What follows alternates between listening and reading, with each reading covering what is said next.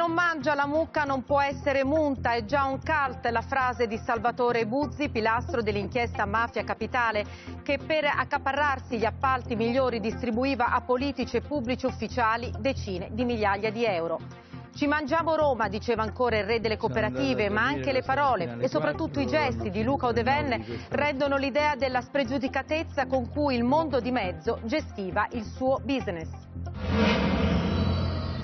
L'Italia all'undicesimo posto al mondo per presenza di immigrati, 5 milioni di regolari che risiedono nel nostro paese producono l'8% del PIL. Lombardia, Lazio, Emilia Romagna e Veneto le regioni che ne ospitano di più, quasi il 60%. 400.000 sono invece gli stranieri finiti, vittime del caporalato l'anno scorso, i dati del rapporto curato da Caritas e Fondazione Migrantes. Denunciato per percosse aggravate un minorenne di Ragusa, aveva preso a calcio e pugni la fidanzata quindicenne che gli aveva rivelato di essere incinta. È soltanto l'ultimo vergognoso anello di una interminabile catena di violenza ai danni delle donne di ogni età, razza e nazionalità.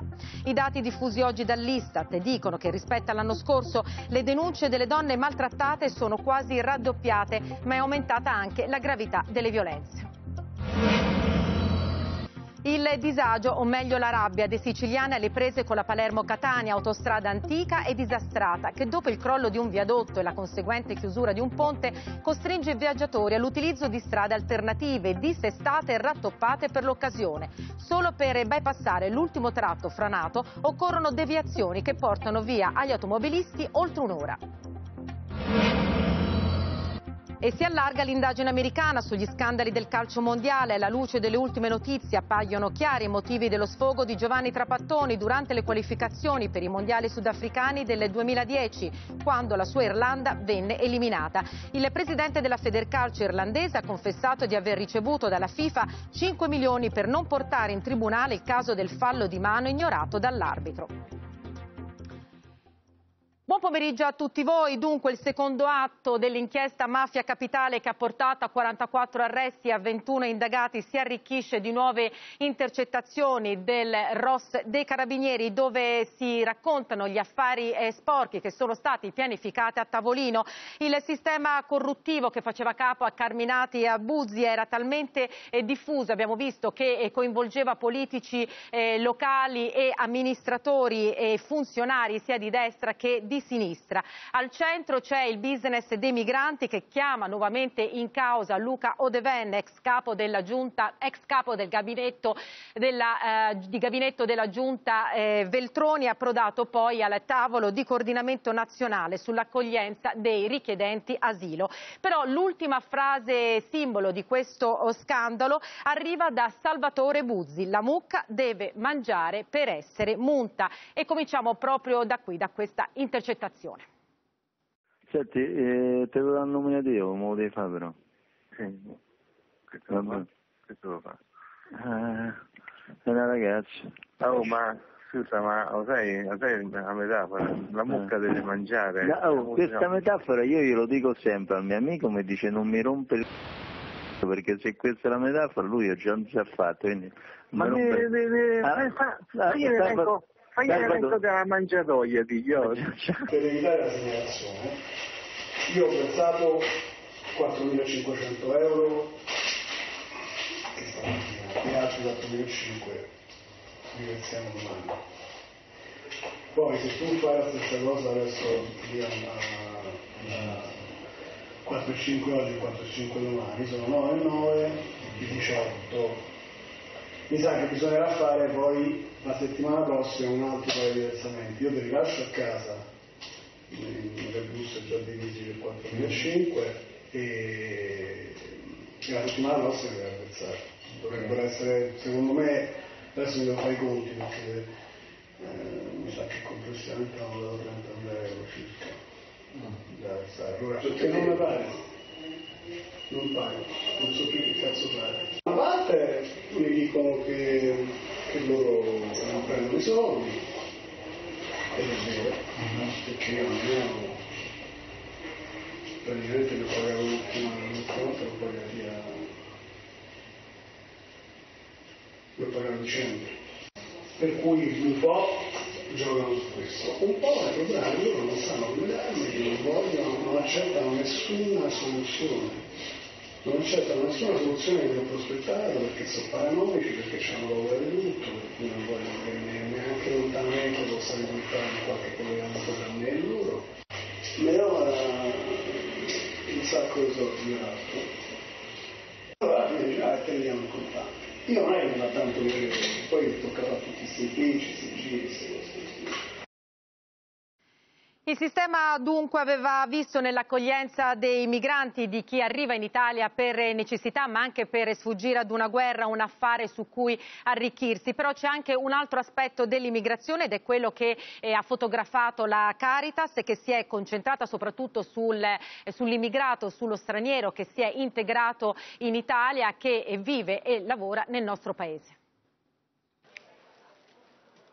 5 milioni di stranieri residenti in Italia all'inizio del 2014 che con il loro lavoro producono una ricchezza pari a 8 punti percentuali di PIL, 123 miliardi di euro. Il 24 rapporto sull'immigrazione curato da Fondazione Migrantes e Caritas racconta un'Italia a cui 5 milioni di cittadini stranieri, in maggioranza romeni, albanesi e marocchini, contribuiscono con il loro lavoro. Servizi per le persone, le tante colfe badanti, ma anche nell'edilizia, nell'agricoltura, nell'industria industria e nei trasporti. Il nostro rapporto l'abbiamo intitolato Migranti attori di sviluppo, ma crediamo anche che purtroppo in alcuni casi ci siano delle occasioni mancate di sviluppo e penso a tutti coloro ad esempio che vengono eh, impiegati in agricoltura in Italia e che sono vittime di un grave sfruttamento. Sono 400.000 i lavoratori che lo scorso anno sono finiti vittime del caporalato nei campi, ma proprio il lavoro agricolo può essere un'occasione di emancipazione, tanto che si è scelto di presentare il rapporto all'Expo di Milano sulla nutrizione. Ad esempio, i tanti profughi che stanno arrivando dal Mali sono piccoli coltivatori che nel loro paese hanno perso la terra, sempre più gestita dalle multinazionali e qui vorrebbero ricominciare. L'Italia è all'undicesimo posto nel mondo per presenza di immigrati, sul podio Stati Uniti, Russia e Germania. Gli sbarchi continui dei profughi sulle nostre coste danno l'impressione della perenne emergenza, ma in realtà nel 2014 i nuovi censiti dal rapporto erano solo 33.000. La crescita delle comunità straniere è interna, ricongiungimenti familiari e nascite, 100.000 solo lo scorso anno, famiglie che devono cavarsela con poche risorse. La paga media mensile di un immigrato è 993 euro contro i 1326 degli italiani. Meno attenzione al discorso della sicurezza su cui ci sono andati in questi anni il 95% delle risorse e più attenzione alle relazioni, agli incontri, anche la riforma della scuola dovrebbe tenere presente questa grande presenza ormai di 800.000 studenti stranieri, eh, oltre la metà dei quali sono nati in Italia, eh, così pure il mondo del lavoro dovrebbe essere molto attento a fare in modo che non cresca una precarizzazione. La prima regione per presenza di immigrati è la Lombardia con il 23%, seguita da Lazio, Emilia Romagna e Veneto. Il 57% degli stranieri residenti in Italia è concentrato in queste quattro regioni e due di loro, la Lombardia e il Veneto, hanno fatto sapere che la misura è colma. Non c'è posto per i 7.500 profughi che il Viminale chiede di ospitare, ma i richiedenti asilo sono solo una piccola parte. Secondo il rapporto la prima causa di richiesta di permesso di soggiorno è il lavoro, seguito dai ricongiungimenti familiari, mentre la protezione umanitaria è al terzo posto. Aumenta l'egoismo, purtroppo, ma poi questo egoismo ahimè trova sponda in alcuni politici, trova sponda in alcune politiche, trova sponda in alcuni movimenti anche che parlano più alla pancia che al cuore. Un popolo, quello dei migranti, di 232 milioni di persone nel mondo, il 3,2% degli abitanti della Terra. A Napoli adesso ricevevano mazzette per intervenire sui terminali aziendali allo scopo di agevolare i debitori. E quanto emerge dall'inchiesta sui dipendenti infedeli di Equitalia, per i quali oggi è stata applicata dalla Procura di Napoli la misura dell'obbligo di presentazione alla Polizia Giudiziaria. Secondo eh, gli inquirenti, gli indagati, 10 persone, intervenivano sui fermi amministrativi oppure cancellavano o modificavano le posizioni debitorie. Esisteva anche una sorta di tariffario dai 200 ai 2.000 euro. E adesso andiamo a vedere com'è la situazione in Sicilia dopo il crollo del eh, viadotto Imera due mesi fa che ha determinato l'interruzione dell'autostrada Palermo-Catania. Nel servizio vedrete le difficoltà degli automobilisti costretti a percorrere strade alternative, addirittura eh, risalenti ai tempi dei Borboni, se non prima. Attenzione, questa strada non è più larga di 2,30 metri, non si può andare a più di 20 km all'ora, ci sono dossi, curve, occorre procedere con molta cautela, ha anche una forte pendenza del 27%, inoltre è vietata ai mezzi pesanti Eppure questa strada è diventata un percorso nevralgico da quando è stata aperta al traffico in fretta e furia per risolvere l'emergenza che si è creata con il crollo circa due mesi fa di tre piloni del viadotto Imera sull'autostrada A19 che collega Palermo a Catania, un cedimento che ha spaccato la Sicilia a metà.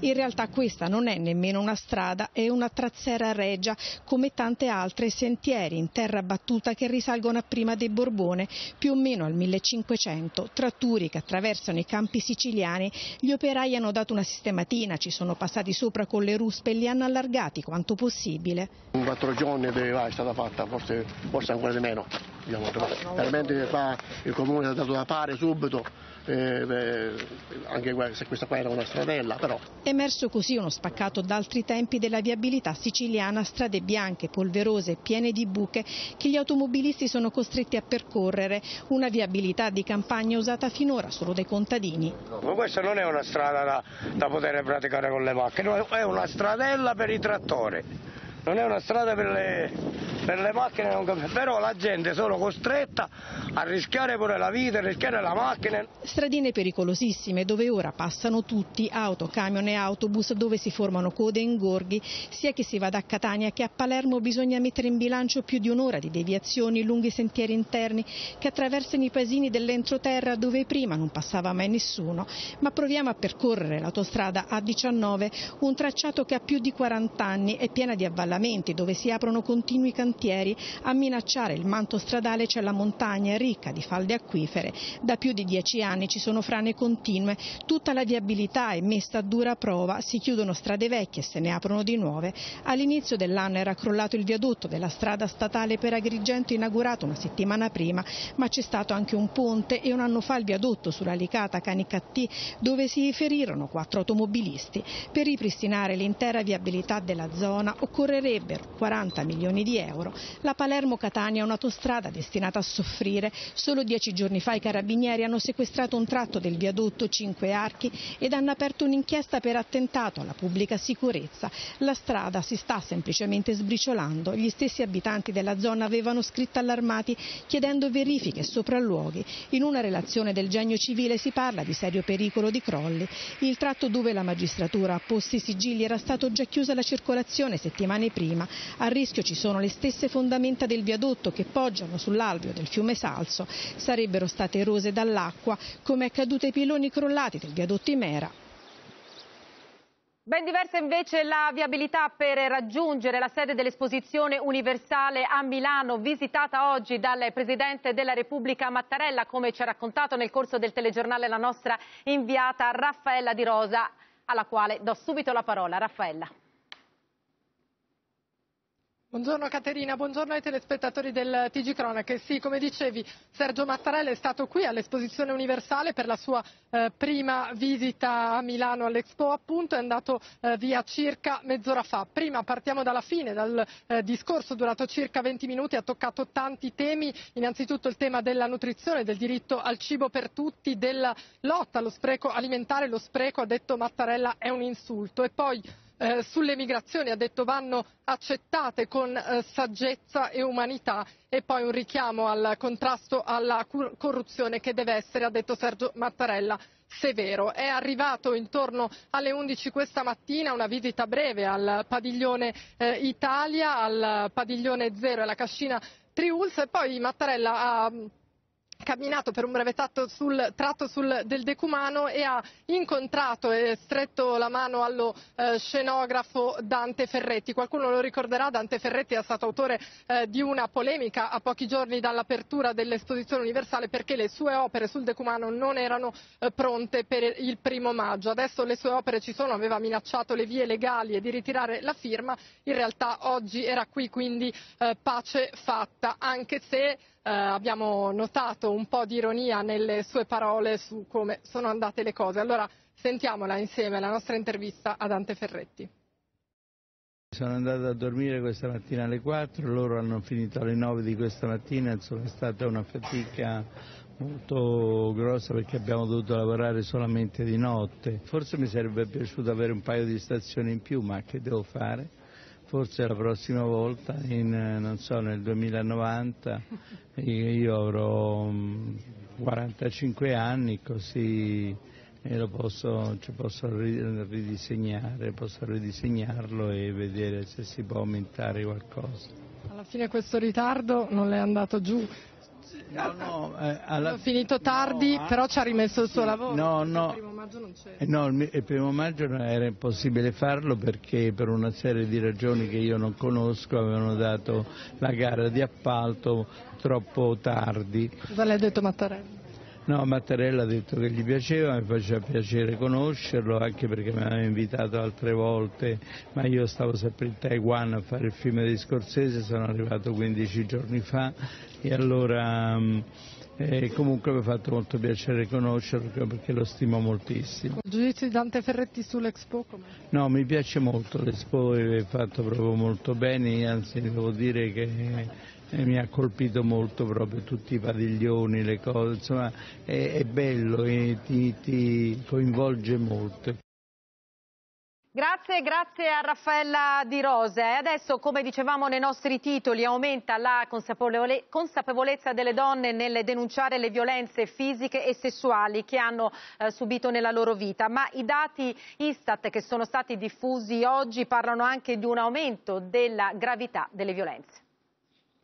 6 milioni 788 mila è il numero raccapricciante diffuso dall'Istat che indica quante donne fra i 16 e i 70 anni, una su tre, abbiano subito una forma di violenza fisica o sessuale. Quest'ultima ha come vittime più donne italiane rispetto alle straniere. Ma c'è un dato incoraggiante rispetto al passato. Molte più donne hanno cominciato a considerare la violenza nei loro confronti come un reato. Una maggiore consapevolezza che si traduce in denunce alle forze dell'ordine, quasi raddoppiate, si passa dal 6,7% al 12% e sempre più spesso le vittime raccontano gli abusi e decidono di chiedere aiuto ai centri specializzati. Il telefono rosa gestisce il 1522 dal dicembre del 2012 e eh, da quella data fino al 31 maggio 2015 abbiamo ricevuto più di 121.000 telefonate. È importante che le donne sappiano che devono denunciare. Il 1522 è un primo passo che le donne possono fare per uscire dalla situazione che subiscono, ma poi ehm, le operatrici sicuramente potranno fornire tutte le informazioni che le consentiranno di denunciare e di porre fine a quello che, che vivono. Le vittime si dichiarano più soddisfatte del lavoro delle forze dell'ordine, ma sono in aumento le violenze gravi. Cresce infatti il numero di donne che ha temuto per la propria vita, si passa dal 18% al 34%. A commettere gli abusi peggiori sono sempre i compagni attuali o quelli precedenti. Sono donne vittime di violenza domestica da parte dei propri mariti, dei propri compagni, subiscono soprattutto violenza psicologica e fisica e eh, sono donne con figli, ehm, figli minori che purtroppo assistono alle violenze subite dalla madre. L'11% delle donne che ha subito violenza sessuale ha meno di 16 anni. Cresce la percentuale dei figli che hanno assistito ad episodi di abusi nei confronti della madre. Anche i maschi minorenni sono autori di violenze. L'ultimo caso di cronaca a Ragusa, dove un ragazzo ha preso a calci e a pugni la sua fidanzatina di 15 anni che gli aveva detto di essere incinta. Negli Stati Uniti si è verificato un clamoroso attacco informatico. Gli Stati Uniti lamentano un nuovo pesante attacco alle loro infrastrutture informatiche federali. Stavolta nel mirino degli hacker il sospetto è che si tratti di cinesi ci sono circa 4 milioni di impiegati pubblici americani su un totale di 22 milioni di dipendenti statali. Si tratta di persone non solo attualmente impiegate ma anche in pensione o ex dipendenti. Non è chiaro quali siano i settori colpiti, teoricamente trapela qualsiasi autorità federale potrebbe essere stata toccata, incluse le più sensibili. L'ufficio che si occupa del personale federale ha detto di aver saputo di questa intrusione in aprile, mentre stava mettendo a punto degli aggiornamenti ai sistemi per innalzare le sue misure di sicurezza informatiche. L'ufficio adesso sta cercando di contattare uno per uno i dipendenti che hanno avuto i dati violati, ai quali viene proposta un'assicurazione gratuita di un anno e mezzo in caso di furto di identità o uso fraudolento delle carte di credito. Il furto di dati però si spinge oltre, include anche le schede individuali dei dipendenti, dove lavorano, che tipo di formazione hanno avuto, quanto sono stati produttivi, le caratteristiche personali. La senatrice Susan Collins, membro del Comitato dei Servizi di Sicurezza del Senato, ha detto che l'attacco è partito da Pechino, ma il governo cinese poco fa ha respinto l'illazione o quantomeno ha negato il coinvolgimento del governo. Gli attacchi informatici di solito sono anonimi, ha detto il portavoce del Ministero degli Esteri cinese. Si sviluppano attraversando i confini e sono davvero molto difficili da tracciare. Per l'America di Obama, che ha sempre preso molto sul serio i temi della guerra informatica, quella degli attacchi degli hacker sta diventando una faccenda seria. Lo scorso novembre il Dipartimento di Sicurezza Interna denunciò un'effrazione su 25.000 nominativi del suo Dipartimento. A marzo 2014 gli esperti americani respinsero un attacco diretto ai dati dei nominativi di coloro che nello staff governativo possono accedere a informazioni riservate. In quel caso fu appurato che l'attacco partiva dalla Cina, come pure nel 2006 quando nel mirino degli hacker cinesi finirono i computer dello strategico Dipartimento del Commercio. Per non parlare del recente furto con tanto di pubblicazione delle mail alla Sony Pictures in occasione del lancio del film The Interview che sbeffeggiava il dittatore nordcoreano Kim Jong-un. Il governo di Pyongyang smentì il suo coinvolgimento ma definì l'atto un'azione giusta. E l'inchiesta americana sul calcio mondiale si arricchisce di nuovi elementi. La FIFA infatti ha ammesso di aver versato alla eh, Federcalcio irlandese una somma di denaro per chiudere la vicenda innescata dal fallo di mano durante la qualificazione dei mondiali eh, nel Sudafrica. Fu un caso eh, clamoroso che Trapattoni ricorda così è stata la delusione più grande della sua lunga e gloriosa carriera. Giovanni Trapattoni ci pensa ancora adesso. Parigi, novembre 2009, sulla panchina dell'Irlanda, il Trap si sta giocando la qualificazione ai mondiali sudafricani del 2010 e avanti per 1-0 nel playoff con la Francia, quando il pareggio beffa di Gallas spegne i sogni della nazionale britannica, già sconfitta nella gara di andata. Il gol appare immediatamente irregolare, viziato da un evidente fallo di mano del transalpino Henry. Lo vedono tutti, tutti tranne l'arbitro che convalida la rete dello scandalo. La svista suscita enormi polemiche. Gli irlandesi pensano di portare la questione in tribunale e chiedere un risarcimento alla FIFA, la potente Federcalcio internazionale. Ben presto però sulla vicenda cala il buio e oggi sappiamo il perché. All'epoca dei fatti il governo del calcio mondiale pagò una tangente di 5 milioni di dollari per comprare il silenzio dell'Irlanda. La rivelazione arriva da John Delaney, Quel pagamento fu un ottimo e legittimo affare, ammette il numero uno della Federazione Biancoverde, confessando che egli stesso trovò un accordo extragiudiziale con Joseph Blatter, a capo della FIFA per 17 anni, fino alle dimissioni dei giorni scorsi provocate dallo scandalo corruzione. La FIFA replica che si trattò di un prestito concesso per porre fine a qualsiasi pretesa, un prestito che sarebbe stato rimborsato se l'Irlanda si fosse qualificata al successivo mondiale del 2014. 2014. Questo non è avvenuto e il prestito è stato cancellato.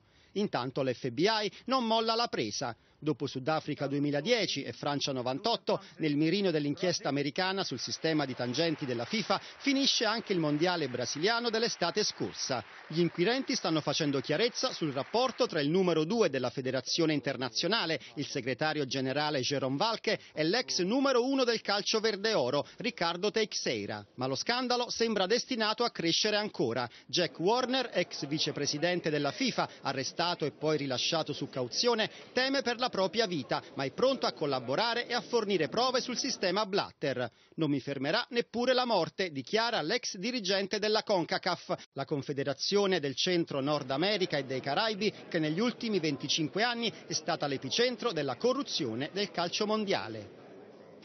Ci fermiamo per qualche minuto, tra poco.